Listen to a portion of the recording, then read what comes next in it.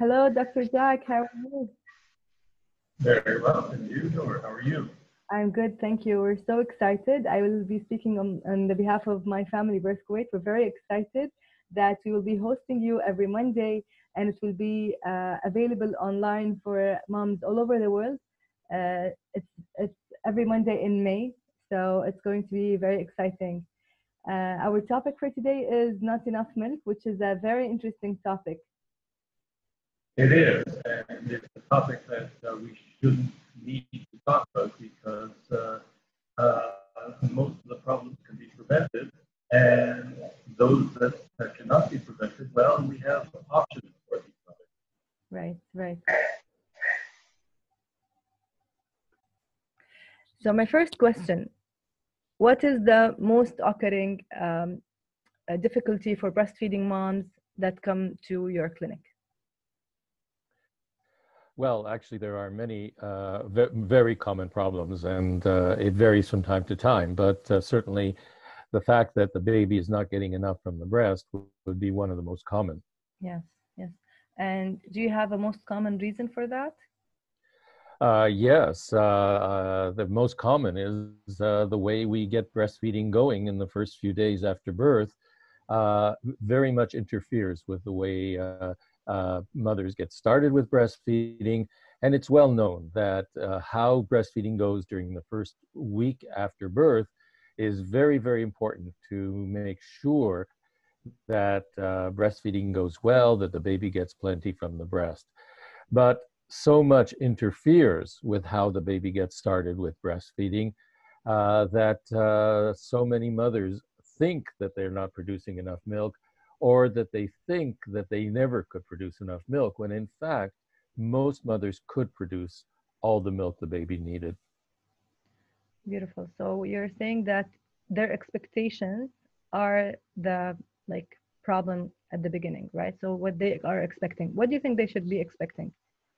Well, I, I, I don't think I meant that. What I meant was that so much occurs around labor and birth that results in mothers not breastfeeding well. So, for example, it mm-hmm. has become very common that mothers are told, oh, your baby has lost 10% of his birth weight, and therefore we need to supplement the baby. Well, this is completely ridiculous. And it's ridiculous in particular because in most uh, countries in North America, in Europe, and I would say in uh, uh, uh the uh, in Kuwait as well, mothers give birth with epidurals. And what does that mean? It means that the mothers get a lot of intravenous fluids during the first few days, uh, during the uh, labor and the birth, and after the birth as well. And the problem with that is that it's not just the mother that gets all this fluid, it's also the baby. And so the baby is born extra hydrated, extra weight, overweight than he normally would have been born. And so the baby starts losing this water that the mother got, that the baby got during the labor and birth. And so the baby loses weight. And so they look, oh my God, the baby's lost 10% of his birth weight. We need to give the baby formula with a bottle. And that is exactly what we should not be doing. Because if there is a real concern, then we need to help the mother breastfeed better to get the baby latched on better not automatically give the baby formula and give the baby bottles. And this is where there is a huge problem in most uh, countries in Europe, uh, in Canada, North America, Australia. It's a problem in, uh, in all affluent countries. And of course, Kuwait is an affluent country. And I'm not surprised if you tell me that most mothers give birth with epidurals. Is that true? It's true.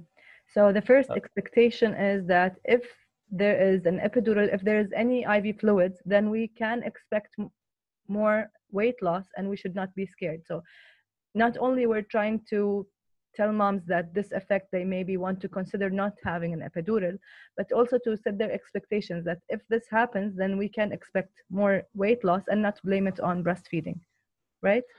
Right. Well, as a as a man, of course, uh, I'm not the one to tell mothers not to have epidurals. Mm-hmm. Uh, I do think that we push the epidurals very, very strongly, and many mothers would be happy to uh, give birth without any uh, pain relief. And as a matter of fact, it's uh, become very I wouldn't say very common, but it's become more and more common that in our area here in Canada, that more and more mothers are deciding to give birth at home because they know how the uh, hospitals interfere with not only breastfeeding, but with labor and birth. So the real issue is that if the baby has indeed lost a certain percentage of weight that we're all concerned about, mm-hmm. then the idea is not automatic supplementation. The idea is let's help the mother breastfeed better. And what happens in those first few days after birth and the first week really determines whether the mother will produce enough milk, but even more importantly, the fact is that many mothers are producing enough milk, but the baby is not getting it. And the baby's not getting it because he's not latching on properly. And if the baby is not latching on properly, then the baby doesn't get the milk that's available to him. So, therefore, we need not only to understand how breastfeeding works, and I would say that in my area, the uh, nursing staff, the pediatricians, do not watch the baby at the breast. They do not know if the baby is getting milk from the breast or not. They just assume that 10% weight loss actually means something. And I don't believe that it means anything at all. So, what happens in the first week is in terms of the early initiation of breastfeeding right away. So, any delay would be affecting and positioning and breastfeeding, uh, like latching on and everything, like you have said. So, what are the things that moms can do? Like, what are the recommendations or advices that we can give them so they can do this on their own. So if we know that uh, staff isn't always that helpful, we want to give that knowledge to moms, right? Right. And what mothers need to know is, oh, well, my baby is latching on well. I know that because it doesn't hurt. And the baby is drinking because a baby is not necessarily drinking from the breast just because the baby uh, has got the breast in his mouth and is making sucking movements. Mm-hmm. And I, I think that this is something that too many health professionals don't understand. They mm-hmm. think, oh, well, the baby is latched on, the baby's got the breast in his mouth, the baby makes sucking movements, then he must be getting milk. But obviously, he's not getting enough because he's lost 10%. No, that's not the way it goes. Mm-hmm. And so we really need to help the mothers breastfeed properly. And we need nursing staff, even midwives uh, need to know how to know a baby's getting milk and not depend just on the 10% weight loss. So how do they learn that? How what what is your advice for them to know this? The mothers, the nurses, the midwives, the doctors, all they have to do is go to our website. And our website says, here's the video that shows you if a baby's getting milk or not.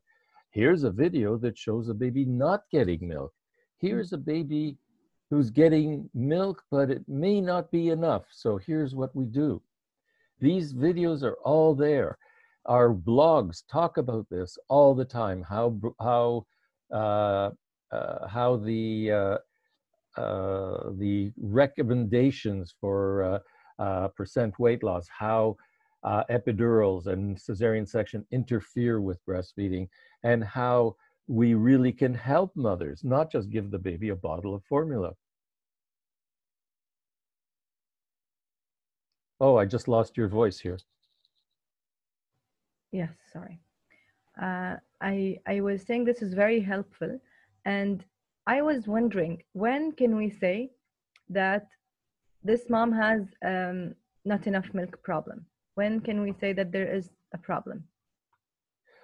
Well, there are some mothers who really cannot produce enough milk. That's, you know, unfortunate, but uh, this thing does exist, but it's certainly not as large a percentage as we would think from all the mothers who are being supplemented right from the very beginning. But the way to know if the baby is getting milk or not is again to watch the baby at the breast, to watch how the baby is drinking. Uh, we teach the mother what a good latch is.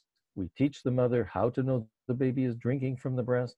We teach something we call breast compressions, which is essentially compressing the breast so that the baby gets more milk from the breast. We remind mothers that they should offer both breasts at each feeding and that there are ways of increasing milk uh, production and milk supply to the baby. Uh, I think that there are some rumors around here. I don't know where it comes from, but mothers are often told that they must feed the baby on just one breast at a feeding. And it's widespread. I receive emails uh, asking questions from all over the world, and mothers are saying often, I just offer one breast at each feeding so that the baby can get the high fat milk. Well, here's a secret if the baby's not drinking milk from the breast, the baby's not getting high fat milk. It's just insane where this idea comes from that you should offer only one breast at each feeding. Some babies will take one breast and be perfectly satisfied, but the mother should still offer the other side because things change. Sometimes milk production decreases a little bit and the baby's not happy anymore with just one breast. And I think that we just have to get past these rules that make no sense and try to remember what our grandmothers and mothers before them were doing. They naturally offered both breasts. So, how do we know if a baby's not getting milk enough from the breast? By watching the baby at the breast. And let me tell you that there are very, very few pediatricians, for example, that ever watch the baby at the breast. And even if they did, they don't know what to look for. And this, unfortunately, is true for many sorts of health professionals. Thank you so much. Uh, I was I was wondering like if so why do we have two breasts right if we have to breastfeed from one side why they are two anyways it's like well I don't know where this idea right? came from yeah I, I don't know where this idea came from except that somebody noticed, and it is true, that the milk increases in fat the longer the baby is drinking from the breast, not just sucking at the breast. Yeah. So if the baby's no longer drinking from the breast, he's not getting high fat milk. So somebody takes a theory which has a basis. Somebody has a theory that says, well, if the milk increases in fat as the baby drinks longer, then we should keep the baby to one breast. And this has become widespread and it's wrong. Hmm. And timings, right? They like sometimes it's like, oh, 10 minutes, 15 minutes. Setting a time is on its own, like not not human, right? It's just like so artificial. It's not even a mammal. Yeah. no mammal feeds by the clock. No mammal. Or should feed by the clock. yeah. So how long should the baby feed? I'm kidding. Like what, well, like when they ask, they are expecting numbers, right? And there are studies about numbers. So we're not saying we want to stick to a number, but expectation, right? Right. Well, when the baby starts drinking less and less from the breast, the flow of milk decreases. Then the baby starts, a young baby starts to fall asleep at the breast. Mm-hmm. But I think that if the mother is seeing that the baby is not drinking, forget the watch, forget the timing. The baby is drinking, don't do anything. The baby starts to drink less and less and less. Take the baby off and offer the other side before he gets so sleepy that he doesn't take the other side. Because sometimes when the flow is slow, uh, particularly a very young baby, will start to uh, fall asleep at the breast and then become very sleepy, even asleep, and won't take the other side. I think that the rules should be thrown away. Yes, yes. So no time, just watch the baby. Uh, what do you baby. think about the babies who fall asleep within like the first two minutes of of the nursing session? Were well, they that means. Like, sorry, go ahead.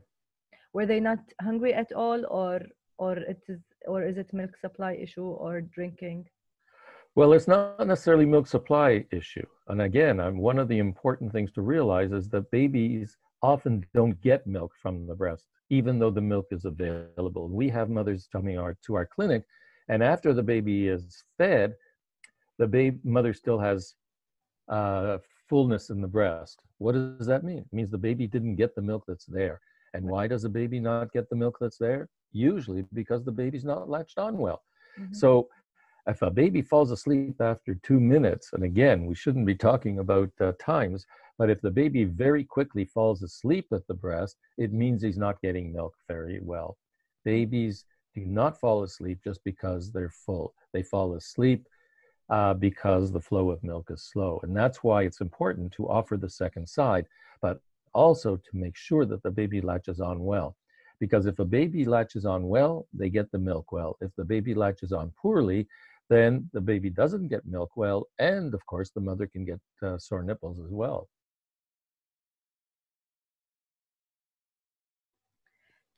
Thank you. Thank you for uh, your answer. It's uh, it's very it's it's really enlightening. And I think if we are watching the baby on the breast and the baby's closing the eyes, are we like I know this is very detailed, but moms ask about this every day and they have sent us questions. So uh, tell us about babies. Are like are they not allowed to sleep on the breast? Uh, and us thinking that this is continuation of breastfeeding or closing the eyes is okay. Closing the eyes is okay, but it really matters what the baby is doing at the breast. If the baby is just nibbling and not getting milk well, that's one thing. Then I think the mother should, if she's, uh, I mean, we often recommend breast compressions where the mother squeezes the breast and allows the baby to get more milk. And they often find that, oh, he's awake again. And he's awake again because he's getting good flow from the breast. Mm-hmm. But if the baby's no longer getting good flow from the breast, then take him off, offer the other side before he gets too sleepy. Right. I think this whole notion of one breast at a feeding, this whole notion of timing is just not going to work for many mothers. Right. Um, my next question is what do you think the reasons are or do we do we need to care about these reasons or we just fix the problem and not ask what was the reason okay well there are many reasons and i've already discussed about how the uh, practices during labor and birth uh, affect how the baby gets uh, milk from the breast uh, mm-hmm. and how we interfere because we talk always about 10% weight loss without thinking that 10% weight loss really doesn't mean anything when the mother has, gives birth by cesarean section or by uh, when the mother's had an intravenous uh, for an epidural. Uh, and I think we also tend to forget that the medications that are used in epidurals also will affect the baby because they makes the baby sleepy. So we have a lot of problems in those first few days due to the fact that the practices that we have in delivering babies and uh, babies being born mm-hmm. uh, really affect breastfeeding.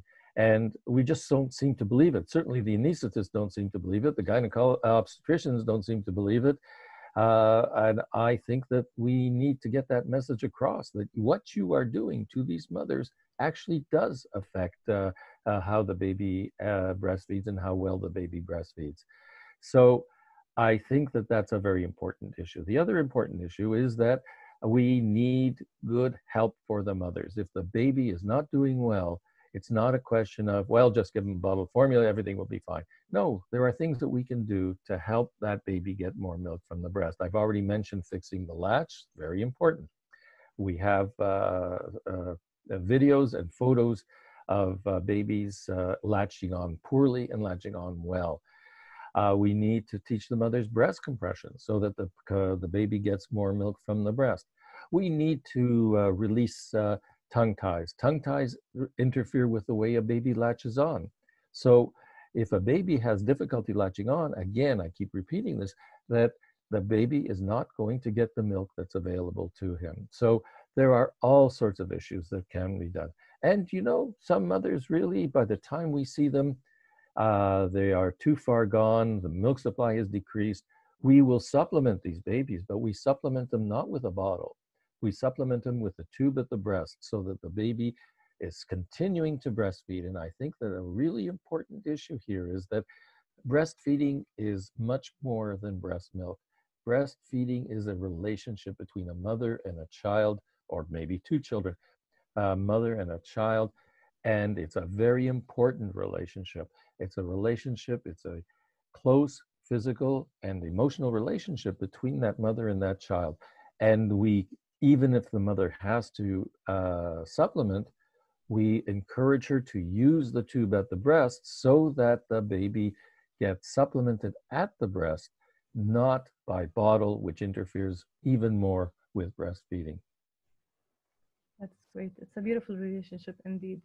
And if we want to discuss reasons that are related to the mom herself, like is is there anything that she can uh, do or any indicators even before she gives birth.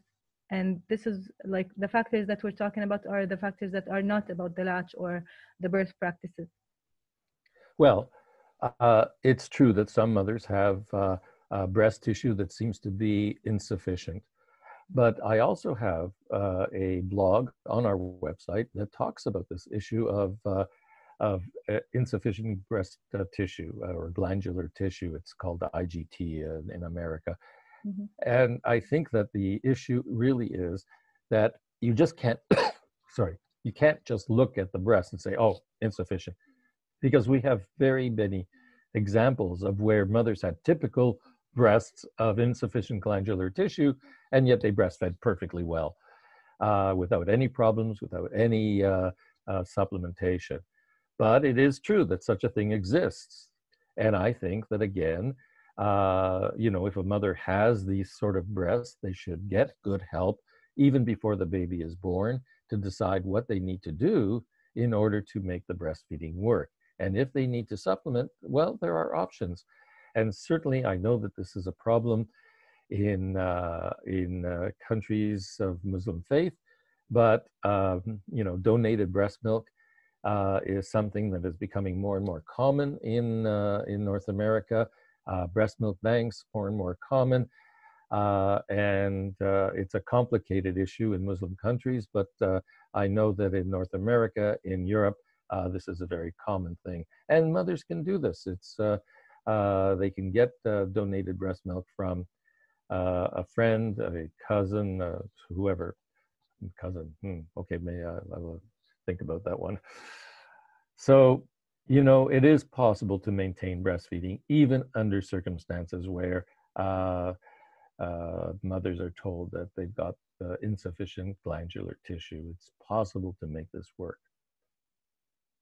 Yes, in, in Muslim countries, uh, there is there are the restrictions of that these like two they become siblings basically the the milk brothers we call them, and uh, what we're having here right now it's it's not very strong and and like people don't know much about it but we have a milk bank that doesn't have mixed milk. They just they just act like a liaison where they're connecting two uh, families and documenting that for the islamic uh, purposes uh, so these families know each other so the thing that we are not having is that the connected like a lot of milk the pool of milk let's say but what we have is the ability for milk donation to happen with some paperwork to to uh, like like please all sides, like we say, right? So we have to mm-hmm. fulfill all all the matters in in that. What I'm trying to say is it's it's happening, it's there, but not many people are encouraged, right? So how how do you think um, because they think okay breast milk is not possible breastfeeding is not possible i have tried my best second best is formula. But that's not true right? Well no second best is uh, uh, is uh, bank breast milk. And you know we've already discussed this a little bit uh, i remember we uh, we had a conference in tunisia where this came up in uh, very, very, you know, very strong ways. But I thought, well, you could always have a. Uh, uh, I don't know if this would work, but I, I thought, okay, so you have bank breast milk. This breast milk is uh, from a mother who was breastfeeding a boy. Mm. And this breast milk was from a mother who is breastfeeding a girl. So if the baby who needs supplemented is a girl, then she gets milk from a mother who is breastfeeding a girl. Does that work?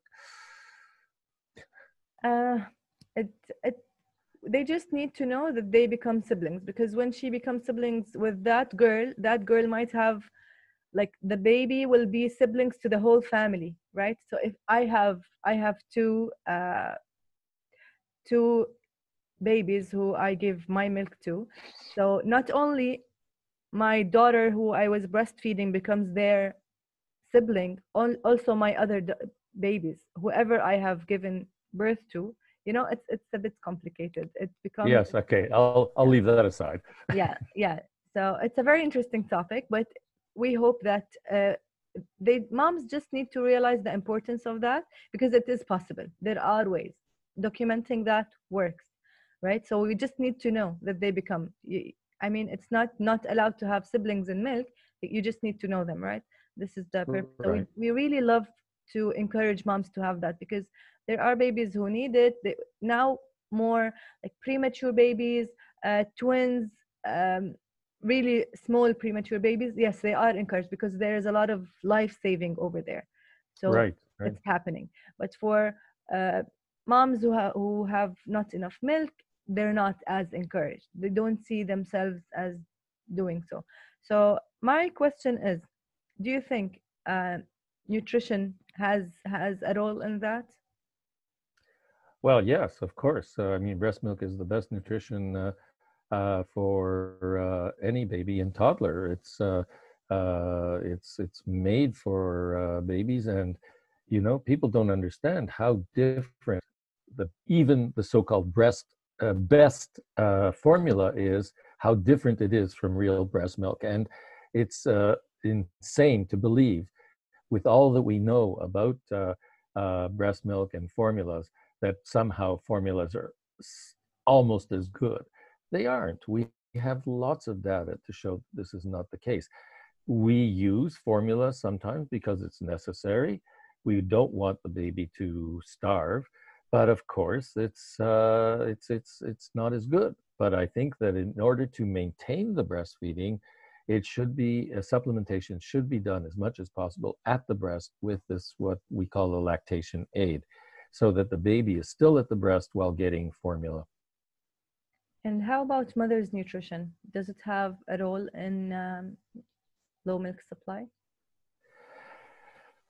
I'm not sure. Certainly, we. Well, I worked in southern Africa, and we saw mothers who were quite malnourished, and yet they seemed to produce all the milk that the baby needed. The babies were happy and fat, and uh, uh, like people like to have fat babies, exclusively breastfeeding. So.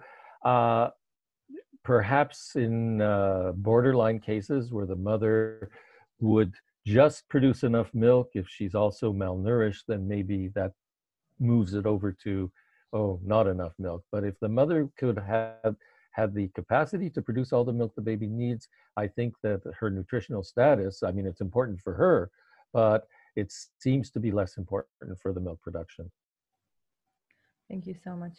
Uh, my last question is uh, this is beautiful. Uh, time passed really fast, and it's a lot of knowledge and information. What is your advice, last advice for moms who go through this, that they don't have enough milk for their babies? Something that you want to say to them? get good help immediately as soon as possible okay?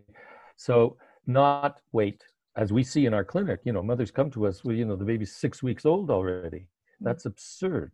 And so get help as soon as possible. And what let me just uh, give a brief resume of what we have on our website. First of all fix the baby's latch. Mhm. fix the make it sure that the baby is latched on well. Then watch for the baby drinking and know if the baby is drinking well at the breast or not so well or very poorly at the breast. Use breast compressions to increase the flow of milk to the baby. Uh, offer both breasts at each feeding we often will use uh, domperidone to increase the mother's milk supply uh, we use it uh, uh, at a dose of uh, 30 milligrams three times a day to begin with. We go up from there. And if still things are not going well, lactation aid at the breast and keep going. Do you prescribe any herbal uh, remedies? Well, we do. I don't think they work that well. And I think it is important to start uh, all these steps as soon as possible. So I uh, prefer to use domperidone over the herbal med- uh, medications. Don't forget, herbs are medications. If they have an effect on your body, they are drugs. Yes. Thank you so much, Dr. Jack. We'll see you next week, inshallah. And it's our pleasure to have you. Thank you so much. The is mine. Thank you very much. Have a good day. Bye bye. Bye.